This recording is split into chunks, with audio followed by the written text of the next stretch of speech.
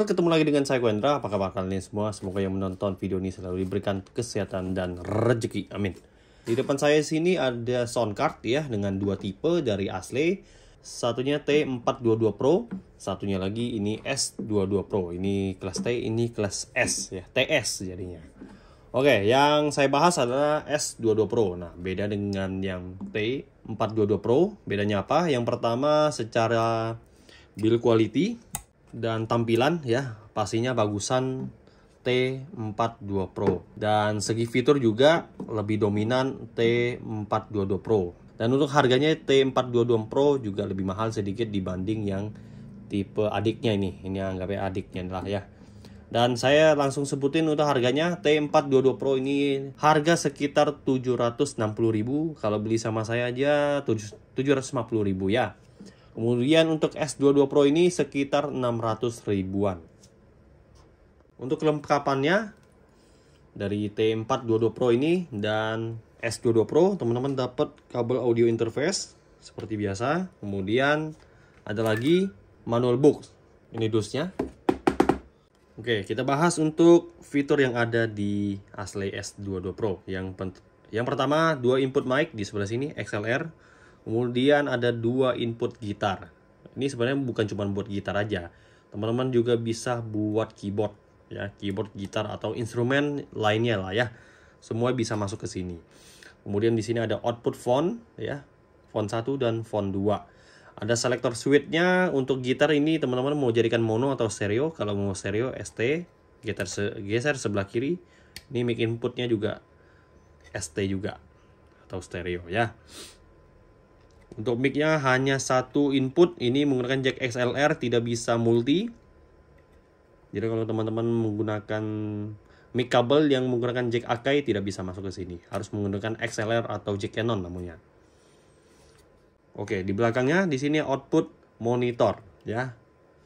Jadi kalau teman-teman ada speaker monitor yang Yamaha ya HS5 atau HS8 bisa ambil dari sini. Atau masuk ke speaker aktif ini hampir sama dengan monitor output di sini ada port USB audio interface ya. Selektornya di sini ada phantom power. Kalau teman-teman ada mic condenser aturkan aja untuk 48 volt atau phantomnya diaktifkan aja ya. Kita lihat di depan. Di sini ada knob mic 1, mic 2, gitar 1 dan gitar 2. Kemudian ada monitor yang tadi buat di output dari sini, dari sini. Knob playback dan volume font. Ini buat headphone di sini semua ya. Oke, kita bahas T422 Pro. High quality USB audio system 24 bit 48 kHz. Ini rendah banget ya untuk uh, hasil recordnya bisa sampai 48 kHz. ADC dan DAC. Dua mic, dua insert input, satu stereo input, satu stereo monitor output dan satu stereo phone output ya. Teman-teman sudah dijelasin dari sini. Nah, ini di sini ada knob mic 1, mic 2, monitor dan font. Dan di sini ada selektor, ada switch-nya ya, 48 volt ini sudah disediakan sendiri-sendiri. Jadi kalau misalnya mic 1 buat kondenser, mic 2 mic dynamic 48 volt ini nggak usah diaktifkan. Ya teman-teman bisa adjust sendirilah. Kemudian ada tombol PAD ya. Kalau diaktifkan min 20 dB. Dan ini selektor insert atau line input. Kalau mau jadikan insert ya atur di insert. Kalau mau dijadikan line mic ya masuk ke line saja sama. Mic 1 dan mic 2 nya sama. Kemudian di sini ada line input dan font output di sebelah sini. Di belakang kita lihat input mic-nya bisa teman-teman pilih XLR atau jack Akai. Ini mic 1, di sebelah sini mic 2, insert atau line input, balance atau unbalance ya untuk uh, jack-jacknya. Kemudian untuk monitor outputnya menggunakan jack Akai. Kalau yang ini, ini kan menggunakan XLR ya. Ini karena mungkin bodinya kecil, nggak muat lagi, jadi di terpaksa menggunakan jack TRS atau jack Akai. Sama seperti ini, ada USB, audio interface masuk ke komputer atau ke laptop, semua masuk dari sini. Dan ada output lagi 2 PC speaker sama persis dengan monitor outnya juga. Tapi ini menggunakan jack tiga setengah. Kalau ini kan pakai jack Akai seperti itu. Baik, sekarang kita akan tes untuk hasil suara di T422 Pro dan T2 dan S22 Pro. Baik, langsung saja kita cara recordingnya seperti apa. Yang pertama, eh, ini saya ngerekamnya menggunakan Filmora ya, jadi hanya record audio biasa aja seperti itu. Ini tadi saya saya tes suara hasil suaranya mantap sekali, tidak ada noise sama sekali malah ya. Dan di sini untuk mic-nya kita masuk aja langsung di terserah. Teman-teman bisa pilih mau mic 1, mic 2. Masuk aja. Ini mic kabel yang saya pakai ya. Oke, kita masuk. Cetek. Oke. Playback kalau misalkan teman-teman ada speaker yang kecil mau dengar sendiri atau pakai headphone aja saya uh, saran saya ya. Jadi bisa tahu suara kita seberapa kenceng ya. Dan di sini saya nggak menggunakan monitor apa pun di sini. Langsung record dari Filmora. Baik langsung kita tes. Simple ya. Jadi tidak ada alat yang banyak. Hanya soundcard seperti ini masuk ke laptop udah jadi sekarang kita tes uh, record kita pasang di sebelah sini saya record C C C C C C C C low low tes baik sinyal sudah masuk di sebelah sini. Tes, tes, tes, 1, 2, 3. Baik, kita mulai recording. Teman-teman lihat ya, di sebelah sini pun uh, sinyal sudah masuk. C, C, C, C. Ini sampai ngepick karena saya buka arah jam 3. C, C, C. Low, low, tes. Saya buka monitor juga nanti LR ini sebelah sini nyala juga nih. Tes 1, 2, 3. 1, 2, 3. 1, 2, 3 mono aja coba tes 123 123 C low baik kita lihat di layarnya tes 123 tes 123 ini langsung dari record soundcard menggunakan S22 Pro asli hasilnya kita lihat dan dengarkan tes ini saya mau jelasin kepada teman-teman ya. Biasanya kalau saya sih awam ya untuk nge-record-record seperti ini. Nah, untuk standar bawaan dari soundcard itu kan biasa uh, 0 dB ya. Biasanya kalau saya ngecek untuk noise-nya, saya naikin untuk volumenya di sebelah sini.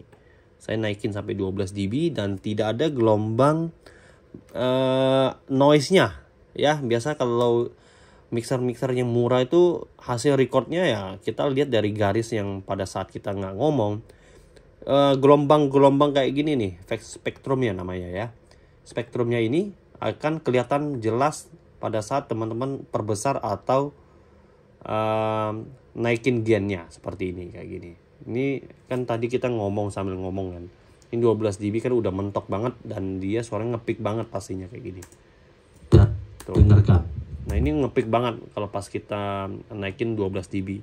Nah ini menunjukkan untuk uh, soundcard dari asli ini hampir tidak ada noise.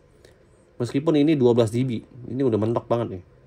12 dB. Ini kalau kita turunin tuh spektrumnya ada tapi kecil sekali. Berarti hampir tidak ada noise sama sekali. Gitu ya. Jadi teman-teman kalau mau noise reduction pun sudah tidak terlalu lama untuk noise reduction dan saya bilang soundcard ini mantul sekali dan kualitasnya top ya dengan harga yang sekitar 600 uh, eh, kalau ini 650 ribuan ya ini sudah sangat mantap buat teman-teman yang recording yang kecil-kecilan ya buat gitar atau instrumen. Nah ini soundcardnya asli ini sudah sangat mumpuni. Baik kita tes untuk soundcard yang kedua. Pastinya ini jagoan saya juga ya. Karena ini tipe teratas soundcard asli T4 22 Pro ini. Nah ini hasil suara yang S22 Pro aja nggak ada noise apalagi yang T4 22 Pro ini. Dan saya sih yakin untuk T4 22 Pro ini 24 bit ya 48 kHz ini bisa teman-teman pakai buat RTA kemudian buat pemakaian ukur lah ukur frekuensi ya bisa menggunakan T422 Pro ini ya. Kita akan coba ya. Saya udah sediain juga untuk mic RTA saya. Nanti saya akan coba untuk uh, gabungkan. Ini karena nggak ada insert ada insert. Cuman untuk kabelnya ini belum saya siapin ya. Mudah-mudahan ini bisa saya tes juga soundcardnya langsung kita cabut bos. Hmm, senggol dong nih. Oke device device connection loss oke kita ganti lagi. Nanti auto eh, soundcardnya auto kebaca biasanya nih di audio Filmora ini. Oke kita ganti. Oke sekarang sudah masuk. Sudah nyala. Ini kalau nyala 48 voltnya nyala ini berarti oh ke on ini udah tak matikan ya PAD nya insertnya udah kita off kan aja deh. Baik mic kabel kita masuk ke belakang. Masuk mic input. Oke tes tes dulu deh. Oh ya mic kabel tadi saya pakai T68 dari asli. Suaranya mantul sekali. Kita tes dulu deh. Cek cek cek. Monitor monitor. Mic 1 nah ini udah masuk. 123 123 321 jadi kita geser 123 321 321 321 321. Oke, arah jam 11 untuk volume mic 2. Dan sekarang kita coba mulai recording menggunakan T422 Pro. Ini saya nggak usah record layar ya, saya langsung record dari sini. Cek cek. Nah ini udah ter baca untuk nama soundcardnya. Nah ini nama soundcardnya kalau di Filmora bacanya USB audio 24 bit. Nah ini menunjukkan 24 ini bener 24 bit nih. Oke kita mulai recording. 3, 2, 1. Baik ini adalah hasil suara dari recording T422 Pro hasilnya teman-teman bisa dengar sendiri T422 Pro saya naikin lagi volume arah jam 12 cek 1 2 3 kalau di layar sini sudah menunjukkan uh, 3 dB tes 123 hampir 6 dB C C. Nah, ini udah mulai ngepick dia. Baik, kita stop dulu. Ini suara kamera seperti ini. Nah, suara soundcard di sini. Cek cek cek cek cek.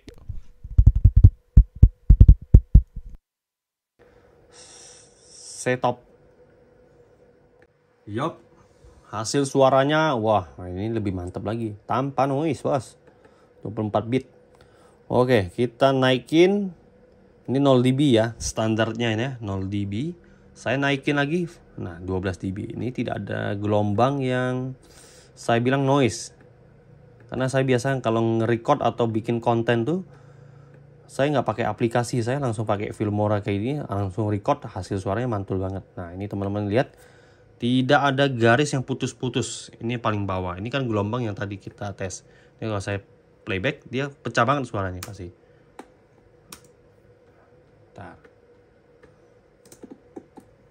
Tuh. Tidak ada gelombang yang naik turun. Ini menandakan sound cardnya asli. Harga murah, kualitas bintang 5 nih. Oke, ini mentok ini biasa ngepick pastinya.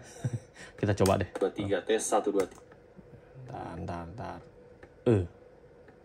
Hasilnya teman-teman bisa Tuh. dengar sendiri T422 Pro. Saya naikin lagi volume oh, arah jam 12 cek 1 2 Ini suara dari laptop ya. Kalau di layar sini sudah menunjukkan uh, dan teman-teman dengar sendiri langsung di headset ya. Ini saya langsung pindahin data biar teman-teman bisa tes. Hasilnya gini.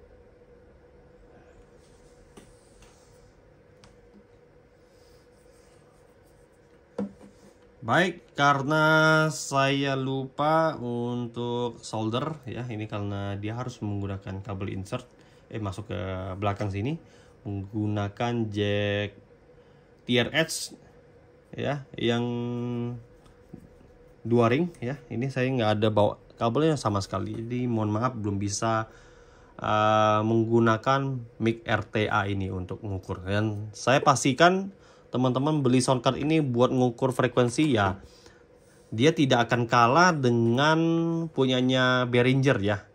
Kemarin saya sempat tes uh, hasil sampel rate-nya juga tinggi banget untuk yang asli T422 Pro ini. Jadi hasilnya cukup. Bagi saya sangat cukup untuk mengetahui untuk berapa dB dan uh, pastinya untuk ukur-ukur frekuensi ukur-ukur boxnya ini sudah sangat mumpuni di T422 Pro ini. Baik, saran saya kalau teman baik kalau teman-teman yang tanya ya soundcard ini berfungsi sebagai apa? Yang pertama kegunaannya banyak ya teman-teman buat konten, teman-teman buat nyanyi, cover lagu, kemudian kemudian buat live streaming lewat laptop seperti ini juga sudah sangat mumpuni dan sudah fasilitasnya sudah luar biasa. Dan pemakaian recording di dalam rumah ini sudah sangat mumpuni ya. Yang pastinya untuk kebutuhan recording ini sudah sangat mumpuni apalagi buat meeting zoom yang teman-teman yang sekarang lagi rame ya. Meeting zoom ah teman-teman mau cari benar-benar soundcard T4 22 Pro dan S22 Pro ini sudah sangat rekomendasi apalagi buat podcast ya, podcast dua mic. Nah, ini shortcut sudah sangat mumpuni. Baik. Terima kasih yang sudah menonton video ini dari awal sampai akhir dan pastinya semoga video ini bisa bermanfaat buat teman-teman yang cari soundcard kemudian buat recording yang kecil-kecilan tidak mau terlalu mahal. Asli T422 Pro ini sangat rekomendasi. Harga sudah saya sebutkan dan teman-teman jika berminat silakan beli online atau transaksi offline Silakan juga nomor WA sudah saya sediakan. Akhirnya saya Koendra, thanks for watching.